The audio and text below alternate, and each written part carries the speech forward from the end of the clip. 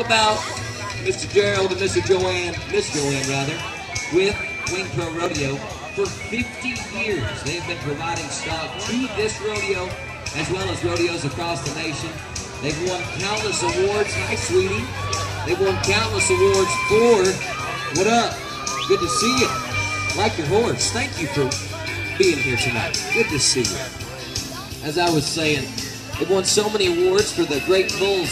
You're going to see bulls that have competed at the PBR World Finals. PBR's all over the country.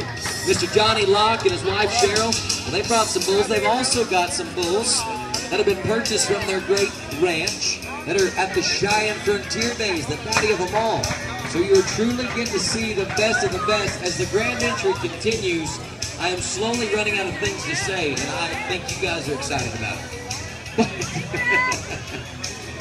it is going to be an absolutely fun night. We've got so many great groups with us. The Gainesville State School and Boles Home of Quinlan, Texas, as well as the Goodland Presbyterian Children's Home in Hugo, Oklahoma. Mr. Haynes Kueckelhan